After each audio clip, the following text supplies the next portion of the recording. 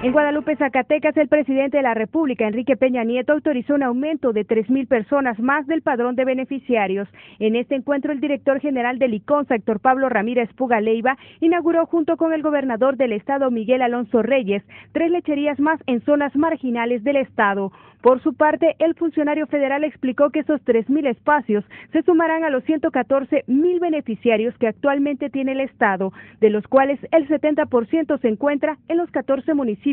de la Cruzada Sin Hambre. En el caso de Zacatecas, estamos comprando cerca de 29 millones de litros a productores del Estado y a través de ese centro de acopio que el señor gobernador ha gestionado con Liconza y con el gobierno federal, vamos a poder comprar otros millones de litros más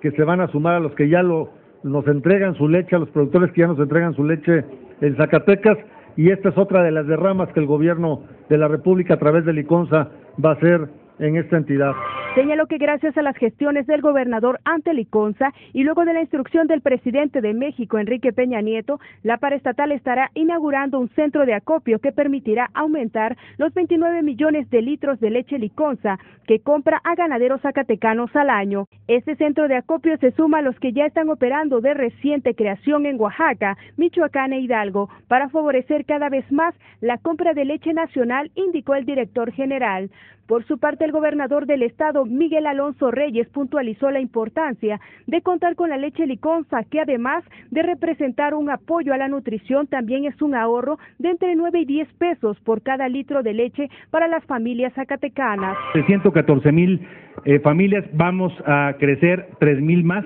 con lo cual pues es un importantísimo apoyo para todas las familias zacatecanas. Muchísimas gracias, señor director, por esos tres mil nuevos espacios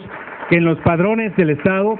se aumentan para beneficio de toda la población zacatecana. Así es que, pues son eh, todos los que hoy estamos comentando buenos datos, buenos números en este compromiso por disminuir la pobreza en Zacatecas y en el país